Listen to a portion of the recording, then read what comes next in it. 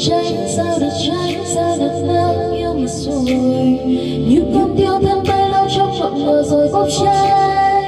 Ngọt ngào người hứa với tôi cầu thủy chung, nhưng sao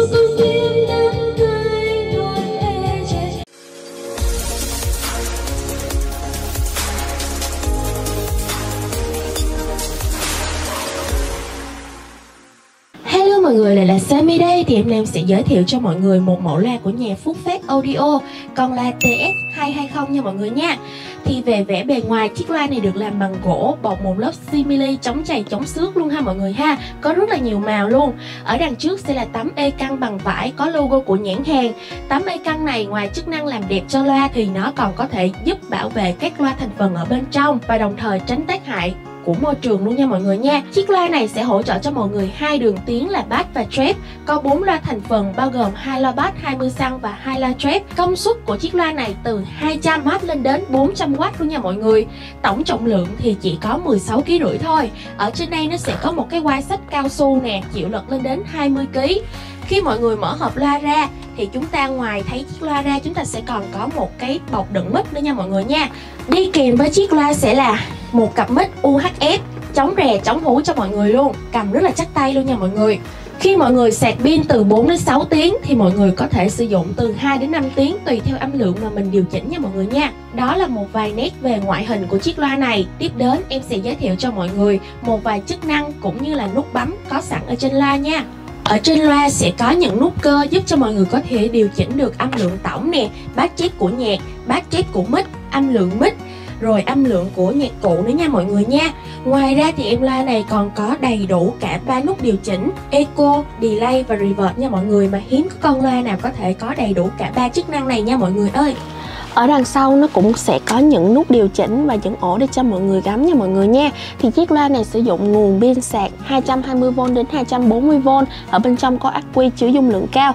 Thì nút mod này sẽ giúp cho mọi người khi bấm vào có thể kết nối được với Bluetooth và những chế độ khác. Rồi nút mid free là chế độ hội nghị Giúp khi mọi người nói khi mà mở nhạc nền á, thì nó sẽ hạ cái nhạc nền xuống để tôn cái giọng mình lên.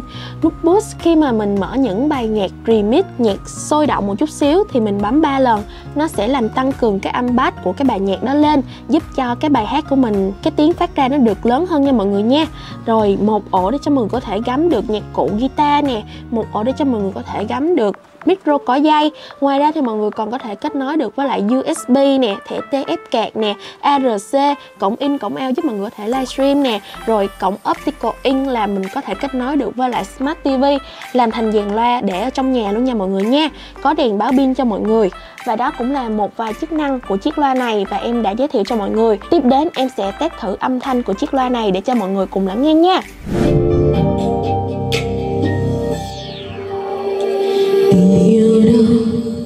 Ai bán mà mua khuôn ba năm người say mấy say mệt nguồn hương sẽ chết rồi thôi dấu bên trong nơi xóa xa trái sao được trái sao được lưới yêu đặt cài rêu con tim lật vào hồ sâu trái sao được trái sao được nắng yêu mà rồi như con tiêu thân bay lâu trong ngọn mơ rồi bốc cháy ngọt ngào người hứa với tôi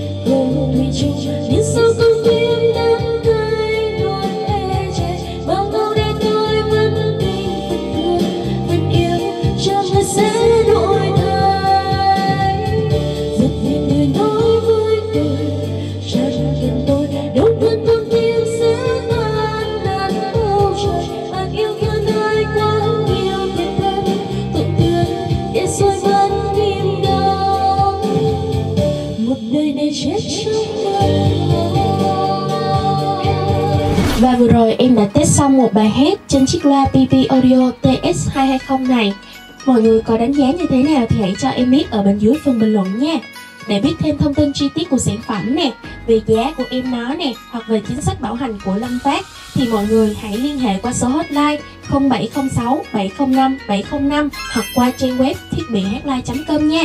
Cảm ơn mọi người đã lắng nghe. Xin chào và hẹn gặp lại mọi người ở những chiếc clip khác.